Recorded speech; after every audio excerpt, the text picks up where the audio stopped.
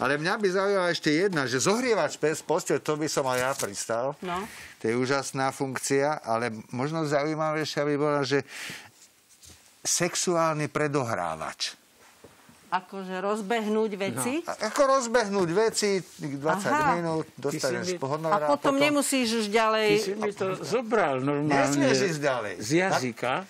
Aj že ty si náš toto? kolega, nie ja, stále chceli byť ako sú roztlieskavači No. a tak, tak chcel byť tiež, to slovo nemôžem, ani ho nepoviem samozrejme, ale klukov by som povedal, že animátor intimných udalostí.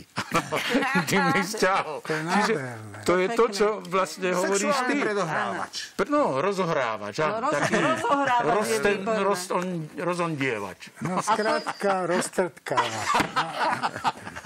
A to by To, to ocenili je to, čo... To je to, čo som nechcel povedať. A určite Ale je aj to- ženy by to ocenili.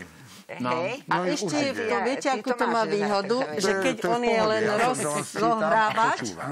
tak on nemusí veci dotiahnuť do konca, čiže keď, jemu, keď, No. jemu sa to nemôže, že nie, to musí už ten druhý chudák, nie? A Dokončiť. tomu, keď to nevíde, tak má... potom sú dokončovači. je To sú dokončovači, Ja, potom sú Keď to nevíde A tomu potom, hlavnému, keď tak povie, že Keď- zlyhal ten predohrávač. No, A keď Aha. to, keď to pokračuje ďalej, keď aj dokončovači skončia a potom sú takí, čo to preťahujú čas, Áno. to sú preťahovači.